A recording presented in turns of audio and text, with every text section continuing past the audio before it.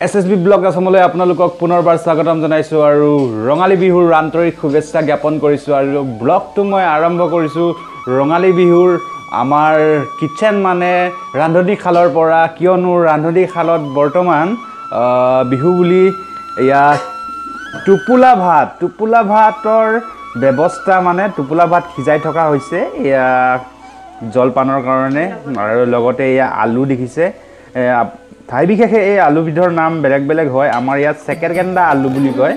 গতিকে আপোনালোকৰ তাত কি বা কয় সেইটো আপোনালোকে বাৰু মেনেজ কৰি ল'ব। আৰু বৰ্তমান মই গৰু গৰু গাঁৱত গৰু সিমান তেনেকুৱা নাই। যদিও আমাৰ খুৰাহঁতৰ আমাৰ গৰু নাই আমাৰ খুৰাহঁতৰ গৰু আছে। তাত আহ, দেখুৱাবলৈ চেষ্টা কৰিম কেনেধৰণে গৰু গা ধোৱাৰ প্ৰস্তুতি। উৰুলিৰ মাত শুনা পাইছোঁ চৌদিশে গতিকে মোৰ অলপ লেট হৈ গ'ল। তো গৈ আছোঁ বৰ্তমান। গৰুক মালা আৰু মাহ হালধিৰে নোৱাইছে ধুৱাইছে। গতিকে সেইবিলাক মই শ্বুট কৰিবলৈ গৈ আছোঁ আৰু যিখিনি পাৰোঁ আপোনালোকক দেখুৱাবলৈ চেষ্টা কৰিম। গৰু বিহুৰ লগত জড়িত এটা বিশেষ বস্তু হয়তো বহুতে চিনি পায় আৰু বহুতে চিনি নাপায়। আৰু সেইটো সৰুতে আমি বহুত লৈছিলোঁ।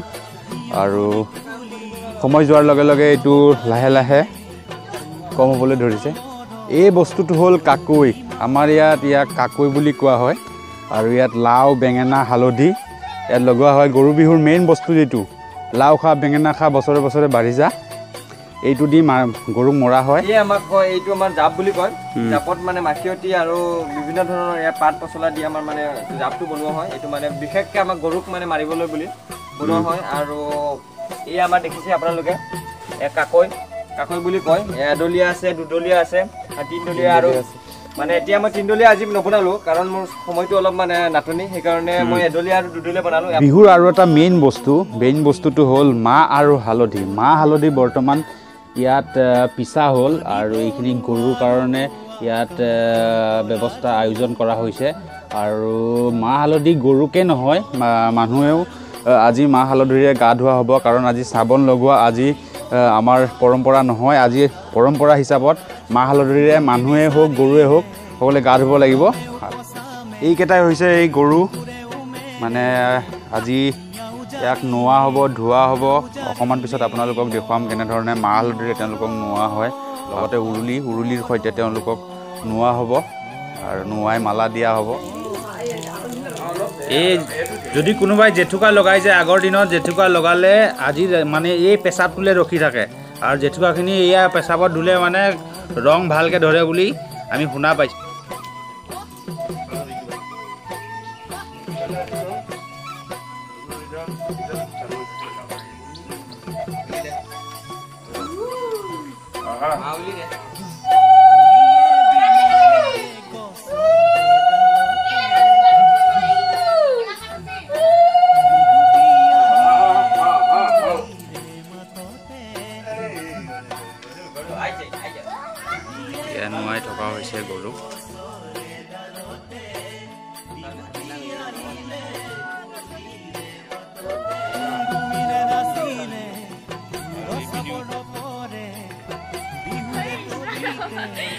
এইটো নহয় ঐ অ।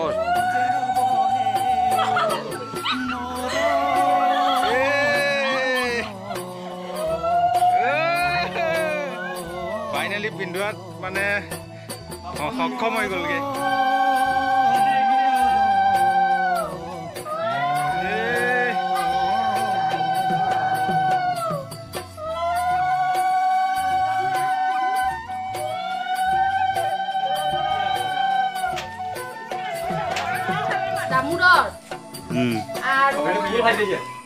নাম হৈছে মিলি।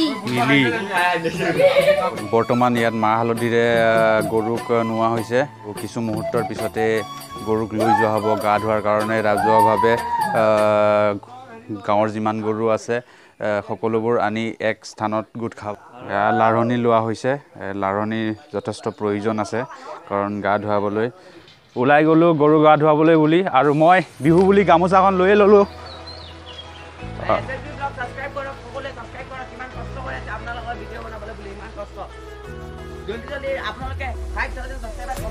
Here with my best friend Ratul Hazarika.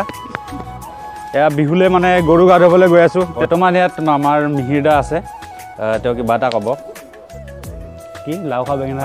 লাও খা বেঙেনা খা বছৰে বছৰে বাঢ়ি যা। মোৰ সৰু মাৰ সৰু মাৰ সৰু বাপেৰ সৰু তই মোৰ নাই। তই হবি বৰ গৰু তই হবি গতিকে শিকিবলৈ। শিকিবলৈ চেষ্টা কৰিছে তেওঁক অশেষ অশেষ ধন্যবাদ জনাইছোঁ। আৰু বিহুৰ শুভেচ্ছা জ্ঞাপন কৰিছোঁ আৰু অঁ চব চব অসমবাসীক মানে বিহুৰ আন্তৰিক আৰু শুভেচ্ছা জনাইছোঁ। লগতে চিত্ৰ সংক্ৰান্তিৰো শুভেচ্ছা জনাইছোঁ। পৰম্পৰা ৰক্ষা কৰাৰ যুঁজ এয়া। বৰ্তমান গৰুৰ সংখ্যা গাঁৱত কম। তথাপিও বিহুটো পালন কৰাৰ কাৰণে সকলো ওলাই আহিছে যিকেইটা গৰু গাঁৱত আছে। চ' পানী অকণমান কম আছে যদিও ইয়াতে গৰু গা ধুৱাব এতিয়া। আগৰ দিনৰ বিহু আৰু এতিয়া মানে পোন্ধৰ বছৰ আগৰ বিহু আৰু এতিয়া বিহু ডিফাৰেঞ্চ কি? ডিফাৰেঞ্চ মানে কি আৰু? গৰু কমিছে অঁ। মানুহৰ ফূৰ্তি কমিছে। অঁ। আমি সৰু আছিলোঁ ককাহঁতৰ লগত আহিছিলোঁ। আৰু কেনেকুৱা লাগিছিলে আৰু এতিয়া বিহু কেনেকুৱা? এতিয়া মানে গৰুটো মানে কৰি খেতি কৰিবৰ কাৰণে লয়। আজিকালি মানে নানান বিভিন্ন ধৰণৰ বস্তু ওলাইছে সা সঁজুলি ওলাইছে মানে মানুহক আৰাম দিবৰ কাৰণে। সেইকাৰণে মানে গৰুটো আৰু মানে নোলোৱা হৈছে। এতিয়া আজিতো গৰু বিহু নহয় জানো। গৰু নহয় এতিয়া বিহুটো কেনেকৈ হয়। সেইকাৰণে অকণমান আৰু কম পৰিমাণে হ'লে যিকেইটা গৰু আছে সেইকেইটা লৈ বিহু উদযাপন হ'ব। কিন্তু আগৰ দিনত আমি যেতিয়া ককাহঁতৰ সময়ত আছিলোঁ আমি সৰু আছিলোঁ তেতিয়া গৰুৰ মানে ইয়াত থ'বলৈ মানে অভাৱ মানে জেগা নোহোৱা হয়। গৰুকেইটা মানে চম্ভালিবলৈ বহুত কষ্ট হৈছিলে। গতিকে পৰিৱৰ্তন সময় পৰিৱৰ্তন। এতিয়া কি কৰিবা আমি আমাৰ পৰম্পৰাটো ৰক্ষা কৰিব লাগিব। পৰম্পৰা আমি ৰক্ষা কৰিবৰ কাৰণে আহিছোঁ আৰু বোলে যিকেইটা গৰু আছে তাতে আমি ৰং ধেমালি কৰি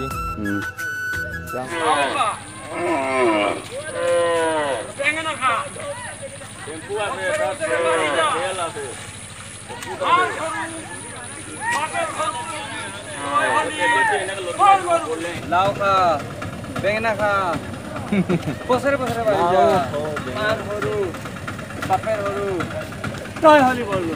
গৰু গা ধোৱা বৰ্তমান কমপ্লিট হৈ গ'ল। কিন্তু ইয়াত কুকুৰ এটাই বৰ ডিষ্টাৰ্ব দি আছে। জাৰ্মান চাফাৰ নে কি? প্ৰথম এখন বিহুৱান পালোঁ আজি বিহুৱান। বিহুৱান দিলে কোনে? অলপ ওলা। অলপ ওলা বিহুৱান দিলে কোনে? অঁ। বিহুৱান দিলে এয়া খালি। দিছোঁ। থেংক ইউ ৱেলকাম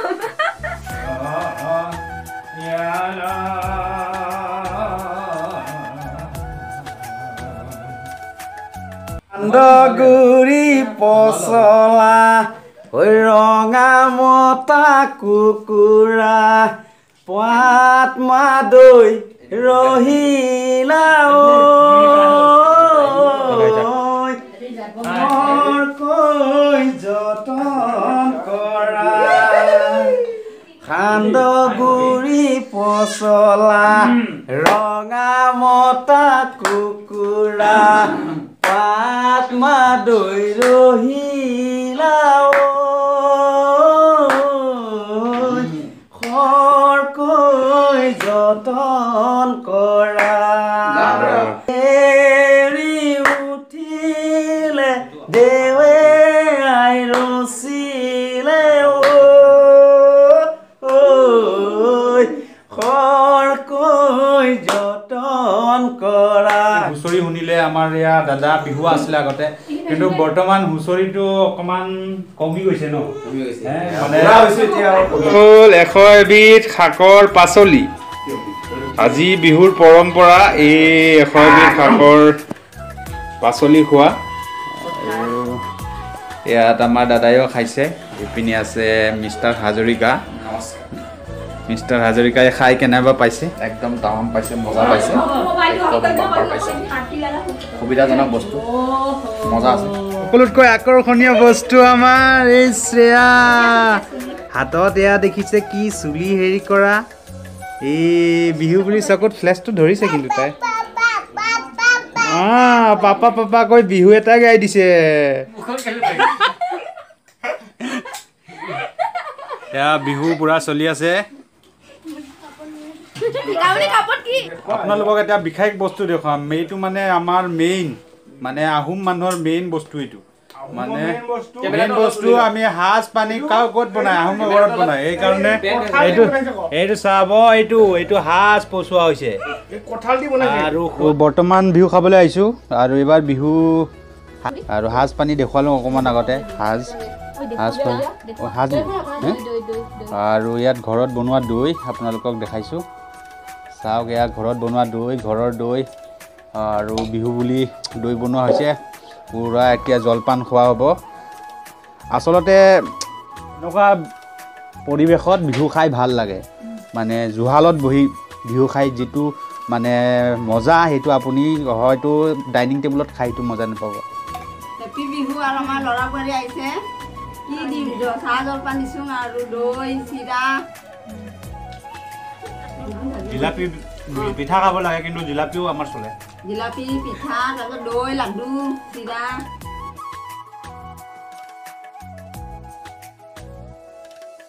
এই মালটো কি? এইটো কয় সাজ ৰহি সাজ। সাজ। খোৱা নেদেখুৱাওঁ হ'লে আৰু এয়া আছে এশ এবিধ এয়া সা সাজ পানী। আৰু এয়া হৈছে এশ এবিধ আহ, শাকৰ পাচলি। গতিকে আজি এশ এবিধ শাকৰ পাচলি খোৱাটো মানে আমাৰ পৰম্পৰা আৰু আমি যিহেতু আহোম মানুহ এইটো সাজটো খোৱাও আমাৰ পৰম্পৰা। খাবলৈ আহিছিলোঁ। আমাৰ খুৰী আৰু এঘৰ আৰু এজনী খুৰী ঘৰত। আৰু ইয়াত আহি দেখা পালোঁ যে সৰু টিমৰ পাৰ্টি চলি আছে আৰু ইউটিউবাৰ দুজন ইউটিউবাৰ আছে লগত। আৰু ইয়াত কি খানি চলি আছে আপোনালোকে চাওক। আৰু লগত সাজ কিন্তু নাই নেকি